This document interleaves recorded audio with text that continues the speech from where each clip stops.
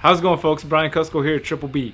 Today we've got Mr. Tom Harbin on for you guys. He's going to show us some of his beautiful snakes. And Tom also was a big positive influence for me when I was first producing my first clutches. Gave me a nice boost in the right direction. We'll talk about that a little bit too. You're watching Triple B TV.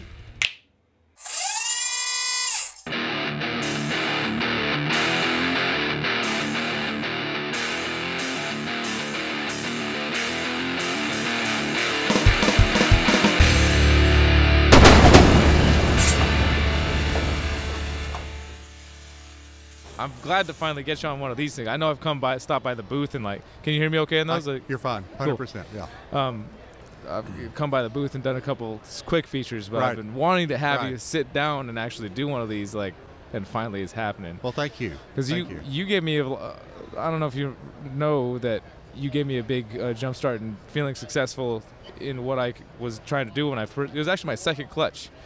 You got one of the animals out of it. Yes. It, it was actually Ben Fugger who reached out to me, said uh, that my, my buddy Tom Okay, is, is yeah. looking to maybe get a snake from Triple B.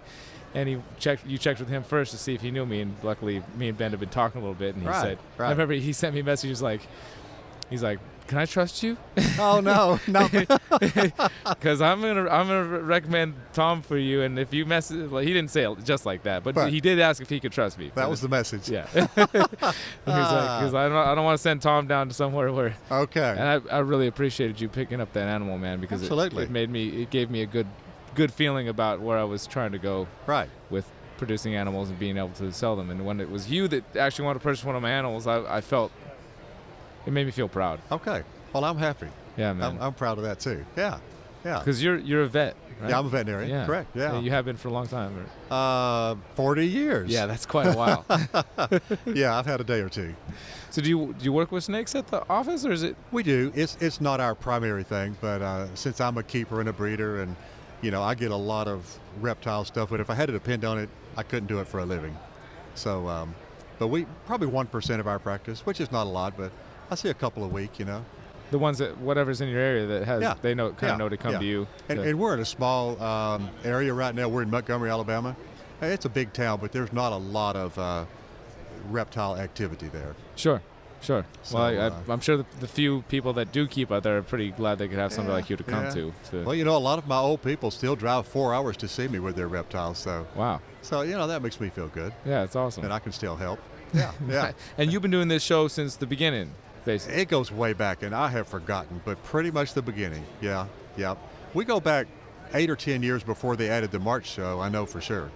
So then I picked up Arlington two years ago. So I guess I'm part of the family. nice. have, have you been working with uh, ball pythons specifically in your reptile keeping? I got my first morph ball python in 03 when it was still sort of at the frenzy level. And uh, so we bought in big.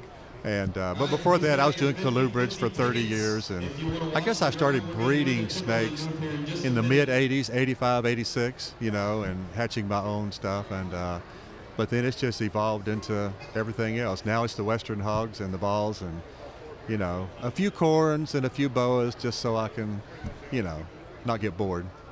Cool. So yeah, yeah. Well, if we could, we got a few animals here that you produced that we could take a look, quick look at. Would be uh, Absolutely, absolutely. so Monarch is obviously your your baby. Monarch is my baby. I was Rance Meyer's first customer, and uh, he's the one who found the Monarch gene. I think most people know that story. Bought a pair of pastels from somebody, from somebody, from somebody, and hatched out G stripes and Monarchs in the first clutch. And so that was the beginning. And then I bought my first animal from Rance, and I've pretty much carried the torch. Rance is out of it now. He's sold out. So, uh, so it's my it's my baby now. So yeah. And it, I've heard you talk about it on videos before, and I know myself, but for everybody that's that's watching that maybe hasn't seen it, it's, it's kind of like Ultramel in a way. I mean, it is recessive as well too, It right? is- it is simple. So it's So- much like Ultramel, but, Ultramel, but- much darker. much more contrast. Much more Much contrast. darker. They keep that contrast no matter what combo that I've put them on so far. And, uh, you know, the Ultramels are great morph. Looking at it in person here, it's it's almost uh, kind of a it seems like it's a disservice to, c- to compare to Ultramel because it's obviously much higher contrast, much darker. Yeah, it, it does not look Ultramel at all. Now, this is a pastel. I did not bring the single gene. Uh, this one's also carrying the genetic stripe, which doesn't show up. But this is sort of what you start off with is the basic morph. Monarch, if you want pastel, you go this. So anyway, we've made the pastel on top of the G-stripe uh, Monarch. We've made the super pastel. Um, the thing that happened for me two years ago. I saw that. I know what you're yeah, going to say. you know, three years before that, I made my own triple hets, clown, genetic stripe, monarch. Um, ended up with five eggs. One egg died along the way, so I had four eggs. They hatched, uh, three males, one female. So I'm thinking, oh crap, you know, how's this going to go? So anyway, I finally bred two years ago uh, the triples to the triples. Ended up with the triple, the genetic stripe monarch clown, which is an awesome snake. I don't have it with me because she's getting ready to breed. She, Wow. She's there. Nice. And uh, then I also made a uh, genetic stripe clown and a clown, all of those possible head for everything else. So that really jump started the, this project when I did the triple. That caught a lot of attention. Yes, it did. Uh, so, well, you know, that, that's that's fun for me, and uh, I'm thinking, you know, how can that happen to a guy like me, you know? But anyway, you're in this for the long game. You can't jump in, go buy a few snakes, and start breeding, and you know. But anyway, so uh, I've been at this for six, seven years on the monarchs. It's starting to pay off, you know, and starting to do some cool things. Uh, working on the pods, uh, pied monarchs, that's coming. That'll be cool to see. Yeah, that's coming. Um, I've got two more projects that, if my monarch family is listening to me, real soon there's going to be leopard cryptic monarchs. Ooh. So, yeah, I can't wait to see that one. Yeah. So it's coming. It's coming. Uh, maybe not too far off. So anyway, um, monarch still got a lot of feet under it, a lot of miles to go. Yeah. So anyway, Yeah. yeah. It's a, looks and from what I've seen, the adults don't change much from babies. They really don't. I mean, this thing is bright right now. The female, the adult female, I've got two that look just like this. They just stay bright. They don't fade like pastels do. The monarch holds color. If you see orange on babies, you're going to see orange as adults, which is, you know, not common. Not as common as python. that's true. Yeah. So um, the contrast is still there, and uh, so you you can, with assurance, tell people, hey, this is what you're gonna get. Three years from now, it'll be the same thing. So. Yeah. And not everything does that. So, True. So I like that. Yeah, me too.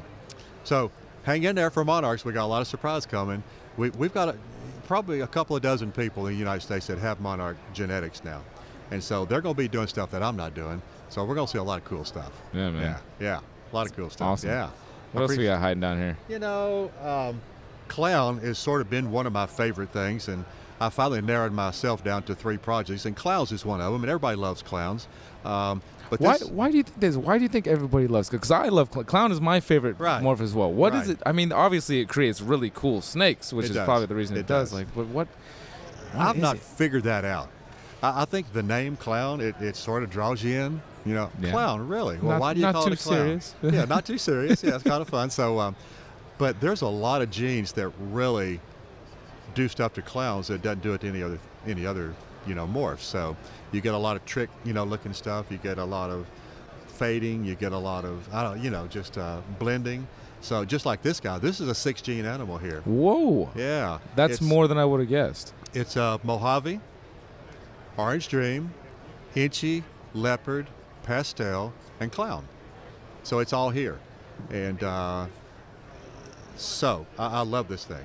Love this thing. Oh, I almost would have guessed there was coral glow in there somewhere. Oh wait, you did say The you banana. did say banana. The- okay, did, I, did. did I leave out banana? Okay. Mm, maybe not. Maybe I think, not. I think I left that. It is banana. Yes, Okay. it is. Yeah. Um, so anyway, this is the best thing that I've ever done. So, you know, and she's on my table for sale for a price. You know, uh, and she's not your fifteen hundred dollar clown. she. She, Yeah. she, she. So, um, yeah, she's she's going to replace her mother, which is uh, Enchi Banana Pet Clown. So, uh, you know, not that she's leaving, but this is going to be her uh, her come along. So, one of the other things that I'm strong in is the Dream dreamsicles.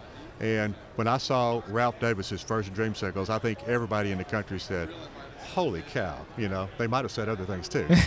you know, so uh, so dreamsicles are big for me, and and I'm, I'm working on combos there, black pastel dreamsicles. You know, and Tobilco's done a lot of stuff with that too, a lot of stuff that I haven't even tried to do. But then with my dreamsicles this year, I hatched out this this girl.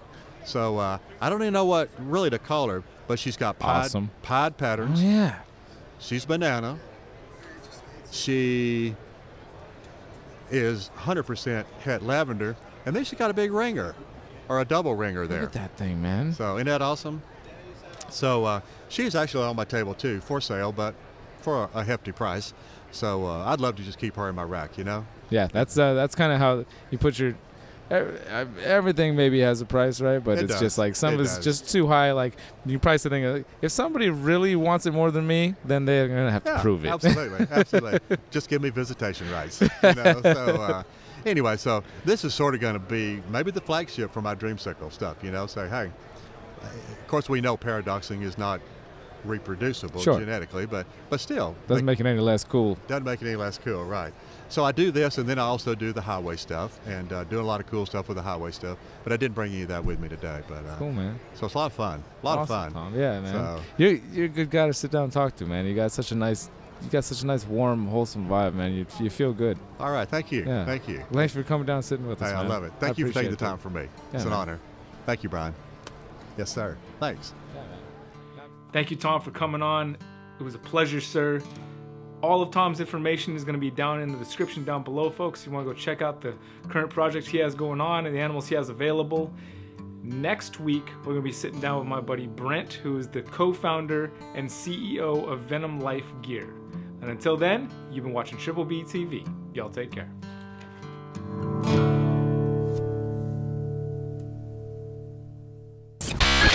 Gotcha. best audio possible. I was using lav mics before, which Okay. it still works. Yeah, still works, right? Uh, not as good. Yeah, especially when now maybe not so bad, but these are much more directional. So like you talk about the mic, just get that. Just kind of always make it better, man. You know, better the better I can make it, the better everything. Right, right. Give Phil a minute. He's gonna go on a couple more times till they get that winner picked. Yeah. We'll we'll give him his we'll give him his moment. I, I didn't buy a ticket this year, so it doesn't matter. Neither did I. I've been able to add it to. Um, All right, we got a winner. The winning ticket is. all right, we got a winner. so what? None of your tickets, just in case we I thought we were done. but hopefully someone- There's, there's always the aftershock. Stop and start. Stop and start. So the, Do the accept returns on losing tickets. wow. Thank you. I went to the bank and changed it all for quarters, so we got a bag of money for him. Thanks, Phil.